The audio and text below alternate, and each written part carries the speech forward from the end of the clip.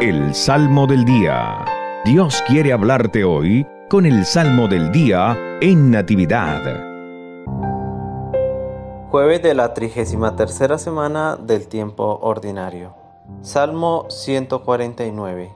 Bendito sea el Señor. Bendito sea el Señor. Entonen al Señor un canto nuevo. En la reunión litúrgica proclámenlo.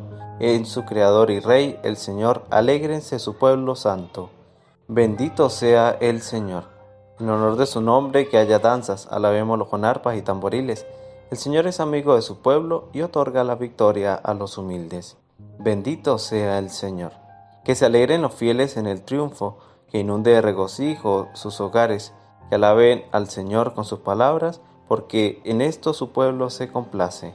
Bendito sea el Señor.